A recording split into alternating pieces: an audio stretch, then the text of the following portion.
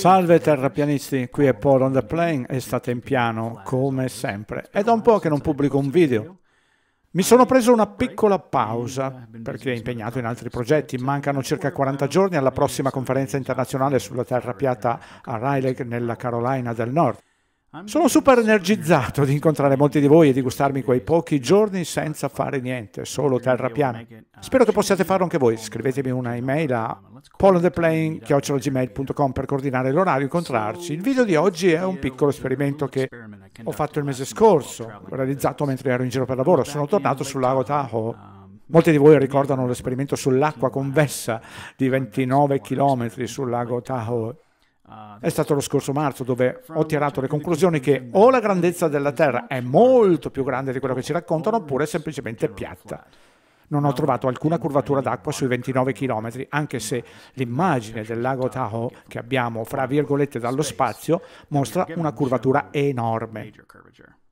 Ci sono due casinò sulla spiaggia a sud, alti circa 60 metri, e riuscivo a vederli da una distanza di 29 km con la mia Nikon P900. Fate voi i calcoli, non dovrei vederli a causa della curvatura, ma cambiamo argomento. Questo esperimento è un altro esperimento con l'app bolla a livello. Sì, ho volato da Seattle in Irlanda lo scorso giugno per testare la presunta curvatura con l'app bolla a livello, ma ho verificato che non c'è alcuna curvatura. Abbiamo sempre volato sopra una terra piana, immobile per migliaia e migliaia di chilometri. Ho realizzato anche un video quando ho viaggiato per oltre 320 chilometri per misurare la curvatura con l'app, ma ovviamente non l'ho trovata. È curioso che tutti quelli che cercano di misurare la curvatura non ci riescono. È strano, vero? Ma torniamo all'app bolla a livello sul nostro telefonino. È curioso di quante persone ancora pensano che l'app bolla a livello sia simile alla livella tradizionale, che invece si può bloccare in qualsiasi orientamento, angolo, grado. Pensano che non possano mostrare il cambiamento della bolla, specialmente dopo molti chilometri, ma non sanno come funziona questa tecnologia, credo. Si può bloccare l'orientamento del telefono come nello spazio, con l'app bolla a livello, e vedere che la bolla si muove fuori dal centro dopo un periodo di 30-60 minuti, come dovrebbe succedere con la presunta rotazione della Terra. Per i difensori del globo sapete questo, vero? Intendo dire che se il telefono è bloccato come nello spazio in una determinata orientazione, ogni movimento del cellulare registrerà un cambiamento della bolla, ogni movimento angolare del telefono. Ovvio che registrerebbe il cambiamento della bolla. Pensateci a questo, ok? Molte persone hanno sperimentato che il telefono è molto sensibile, in grado di misurare la rotazione della Terra, ma è curioso che nessuno ha mai registrato questa rotazione, ok? Ma cambiamo ancora argomento.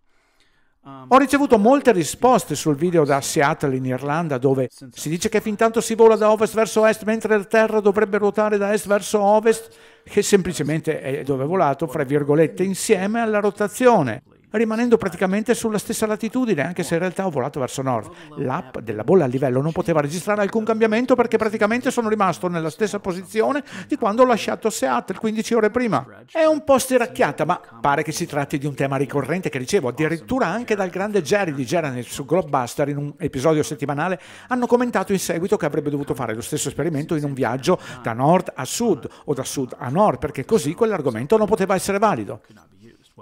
Bene, ecco l'esperimento che ho fatto qui. Ho volato da Reno, nel Nevada, a Seattle, Washington, che è chiaramente una rotta da sud a nord, come potete vedere su questa mappa. Pertanto non c'è alcuna possibilità che abbia volato nel verso della presunta rotazione, che avrebbe potuto essere la stessa posizione relativa dopo un volo di due ore e mezza fra i due aeroporti, ok? Questi i miei risultati. Ho scattato un'immagine dell'app bolla a livello seduto sull'aereo a Reno e qui potete vedere l'orario sull'immagine che segue con altitudine, longitudine fra le due app che confermano la mia posizione posizione su una terra piana, immobile e piatta, quella dove viviamo. Queste coordinate mostrano che mi trovavo qui quando ho rilevato la prima misurazione e che poche ore dopo, una volta atterrato a Seattle, ho fatto la stessa cosa. Ho fatto lo screenshot dell'app bolla a livello e come potete vedere nessun cambiamento. Avrebbe dovuto trovarsi fuori di almeno qualche grado. Voglio dire, considerando che ho volato per circa 900 km, Seattle dovrebbe trovarsi a circa 64 km sotto l'orizzonte o 40 miglia da quando mi trovavo a Reno. Dovrei vedere un po' di gradi, gente. Queste sono le mie coordinate rilevate sulla pista di atterraggio a Seattle una volta arrivato dove ho registrato la seconda e ultima misurazione. Quindi Eccolo qui il mio secondo esperimento. Dopo quello da ovest a est, qui l'esperimento di viaggio sul presunto globo da sud a nord. Ma disgraziatamente per i difensori della Terra a globo, la maledetta, inafferrabile curvatura ancora una volta non si trova.